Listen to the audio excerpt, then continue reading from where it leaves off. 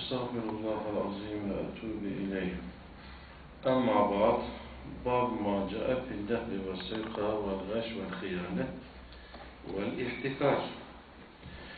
Muhterem kardeşlerim, bu nehb yani zorla alma bir Müslümanın malını soymak, hırsızlık ve sirka, gaş, hileyle aldatma ve hıyane, hainlikle alakalı bir bab bu hadis-i şeriflerin içerisinde geçmişti. Ama hadis-i şeriflerin arasında bir hadis geçiyordu. O hadis-i şerifte de el muhtekiru mel'unun buyuruyordu. Muhtekir yani ihtikar yapan mel'undur. Allahu Teala'nın lanetine uğramıştır. Yani mel'un lanet Allahu Teala'nın ona hiç artık merhamet nazarıyla bakmamasıdır. Lanet çok büyük bir şeydir. Allah muhafaza buyursun. Allahu Teala bir insanın yüzüne hiç bakmazsa artık onun yüzüne kim baksa bir faydası olmaz. Şimdi burada bir hadisi şerif geçti. Konuyla da alakalı hep iktisadi haramlar olunca ihtikarı başta bile almamış müellifimiz. Bunun sebebini defaatle yeri geldikçe izah etmiştik sizlere. Ancak gönlümüz razı olmadı. Bu başlığın içerisine biz ihtikarata girdiler. Bab-ı fil ihtikar ve ve ve diyelim böyle inşallah ihtikarla alakalı bu hadisi şerifin yanına biz iki hadisi şerif daha ilave ederek üç hadisi şerif zikredeceğiz inşallah. Böylece bu meseleyi de göreceğiz. Gerçi ihtikar yani kara borsa her zaman olmuyor ama insanların hayatında olabilir. İhtikar kara borsa bir malı fiyatın artması için stok etmek, piyasaya sürmemek veya piyasada var olan bir malı çekerek ambarına malın yokluğundan fiyatın yükselmesini arzu etmektir. Yaşı müsait olanlar bizim gibi 70'li yılların sonunda 80'e doğru bu memlekette benzinin de değil mi? İnşaat malzemeleri zaman zaman çimentonun, yağın hatta değil mi? Yağ, yağ bulunmazdı bir zaman yiyecek.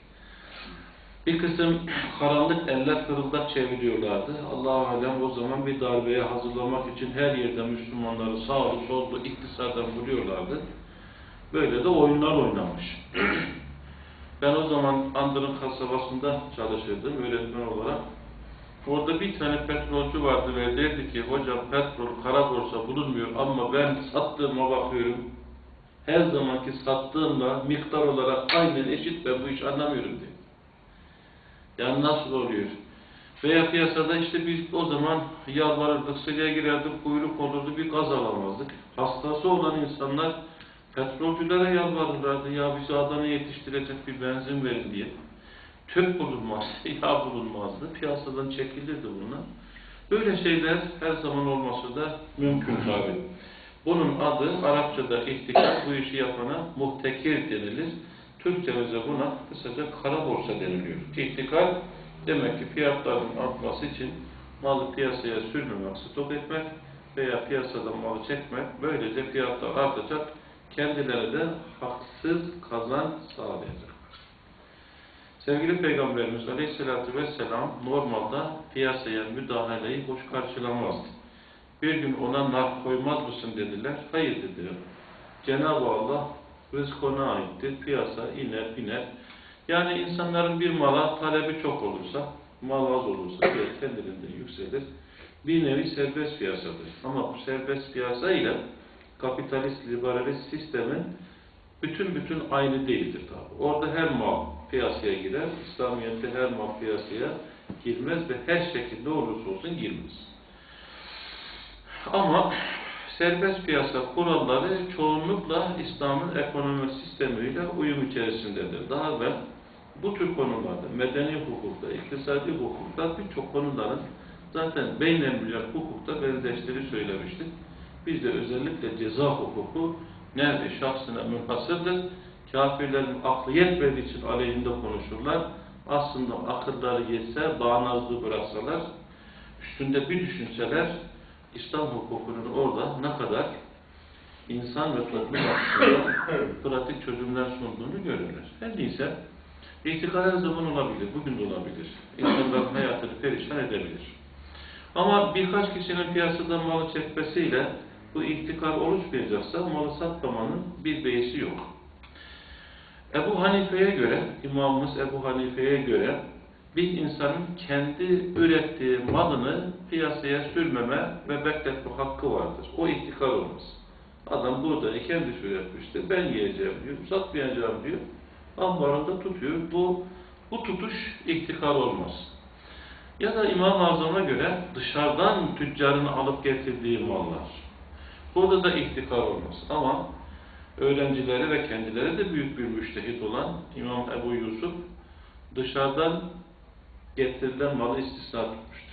Yani dışarıdan getirilen mal stok edildiğinde piyasada e, haksız kazanca sebep oluyorsa, malların fiyatlarının yükselmesine sebep oluyorsa kara borsacılığa girer demiş.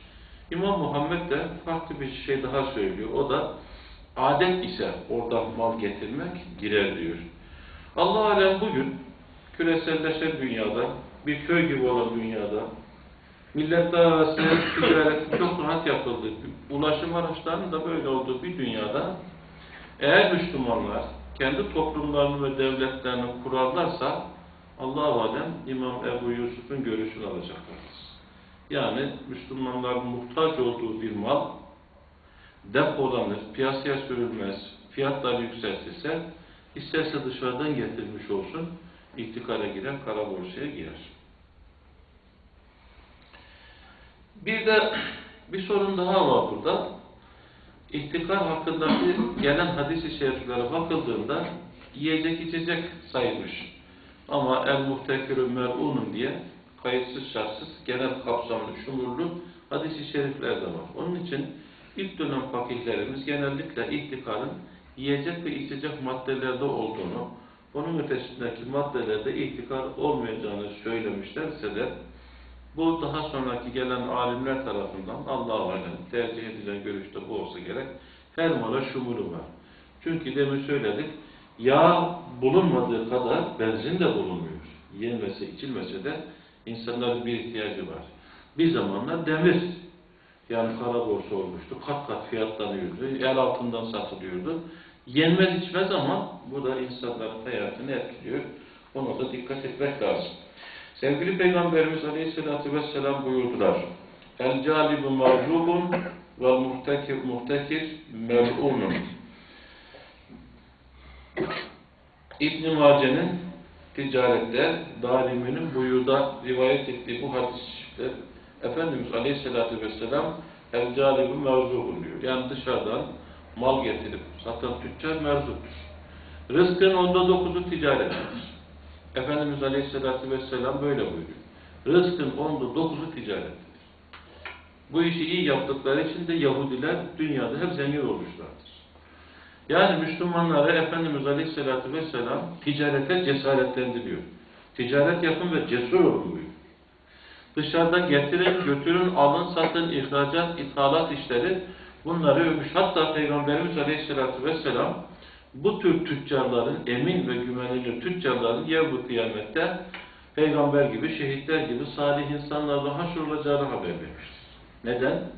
Çünkü benim buradan bir kitaba ihtiyacım var, bir demire ihtiyacım var. Kalkıp her ihtiyacımı kendim görmeye gitsem sıkıntıya düşerim.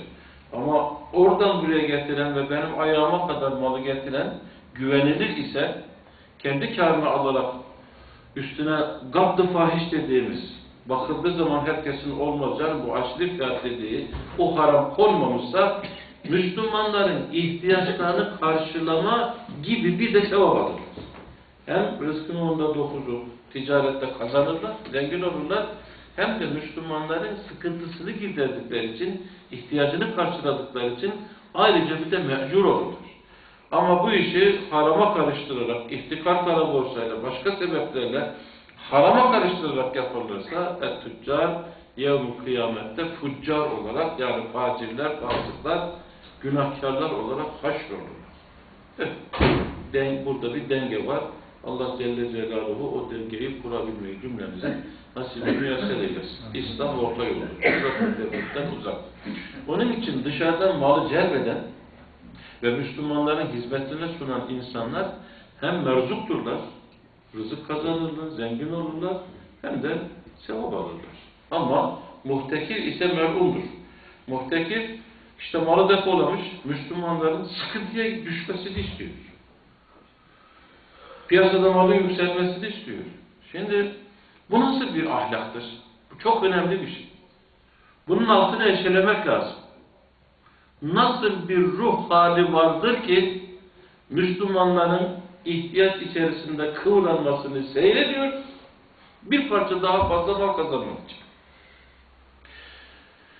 Geçmişte dünya sevgisiyle alakalı hadis-i şerifler geçmişti. İşte bu bir dünya sevgisinin alametidir. Bu adamın kalbinde Allah korkusu olsaydı, Allah'a saygı sevgi olsaydı, Müslümanların sıkıntıya düşmesi kendisine ağır gelecekti. İçerisinde şefkat ve merhamet yok bu adam. Bu adam zalim bir adam. Bu adam katı kalpli bir adam.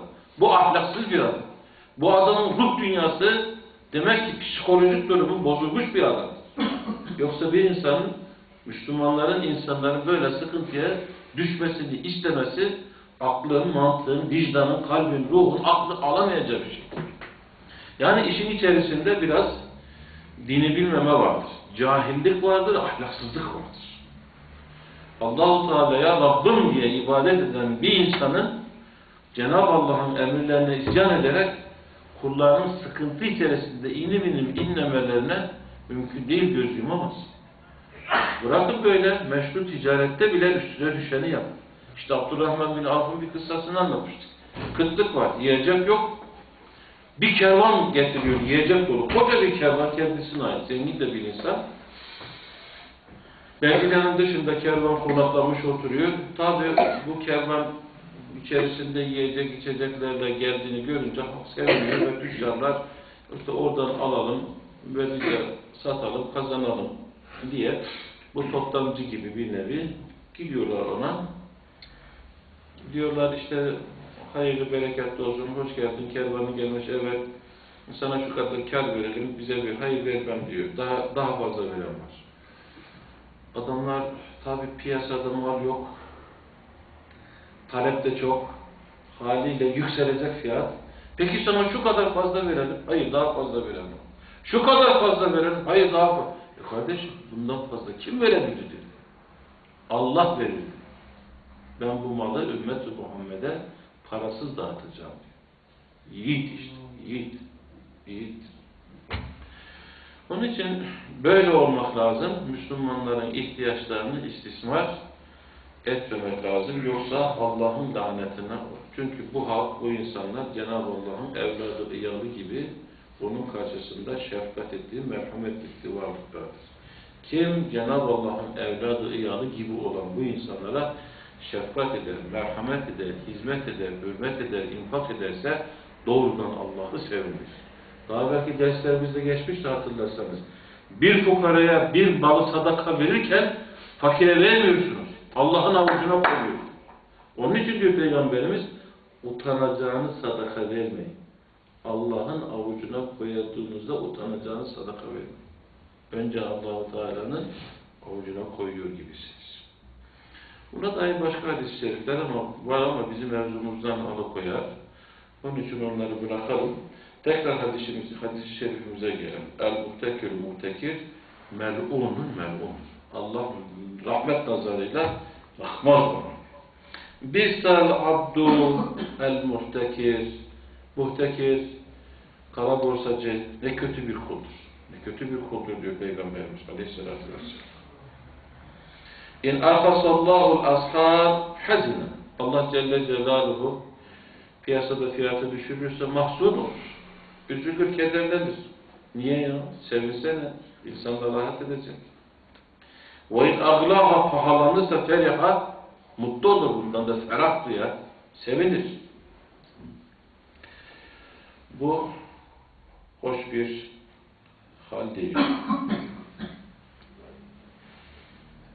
Men dehale fi şeyin min is'alil müslümin liyugdiyehu aleyhim kana hakkan alallahi tebareke ve teala en yuhidehu bi ızamin minen nar. Neuzubillah. Men dakale fi şeyin min is'alil müslümin bir adam Müslümanların piyasasına malların fiyatının artmasına aleyhinde olumsuz bir müdahalede bulunursa, böylece piyasada fiyatlar artarsa, e tabi fakir fukara bundan ezilecek, insanlar zarar görecek, ziyan görecekler. İşte kim bunu yaparsa لِيُغْلِيَهُ عَلَيْهِمْ Bu fiyatlar aleyhlerine daha da artsın, kendisi çok kazansın, insanlar daha fakr zarurete ihtiyaca düşsünler. كَانَ حَقًّا عَلَى اللّٰهِ تَبَارَكَ وَتَعَالَى Çok yüce ve şanı yüce olan Allah Celle Celaluhu'nun üzerine haktır ki en yu'idahu bi izami minennar onu cehennem ateşinden koca bir ateşin üstüne oturtturarak azap eder. Bunu hak etmiştir yani. Misliyle ceza. Düşünün, misliyle cezadır. Evet, Müslümanların ihtiyaç ateşi içerisinde yanıp kavrulmasına sebep olan insanlar kötü müdahaleleriyle cehennemde o büyük ateşe oturup yanmayı hak etmişlerdir. Cenab-ı Allah'ın üzerine bir haktır diyor. Kâne hakkan alallahi teâlâ. Ahmet bin Hanbel bunu Müsned'inin 5. cildinde 27 ve 50. sayfalarda iki yerde ayrı ayrı zikretmiş. Belki daha fazla yerlerde de zikretmiş olabilir. Buradan anlaşılıyor ki Müslümanların fiyatlarıyla müdahale bu bir çeşidi. Yukarıda başka çeşitleri de vardı. İşte sirkat öyle, hile öyle, hıyanet öyle, soyguculuk öyle. Başka başka çeşitleri de var. Arkada onlar da yeri gelince gelecek inşallah sayacağız. Rüşvet de öyle mesela. Neceş de öyle. Nedir o? Yeri gelince göreceğiz inşallah. Her halükarda Müslümanların piyasasıyla, ekmeğiyle bir insanın haksız müdahaleyle oynamaması, içine, ekmeğinin içerisine haram karıştırmaması gerekir. Bu da bir ibadettir. Hatta ibadetin onda dokuzu sık sık söylüyoruz. Helal lokma için çalışmaktır. Allah Celle Celaluhu helal yemeği cümlemize nasip-i müyesser eylesin inşallah. سبحان ربك رب العزة عما يصفون وسلام على المرسلين والحمد لله رب العالمين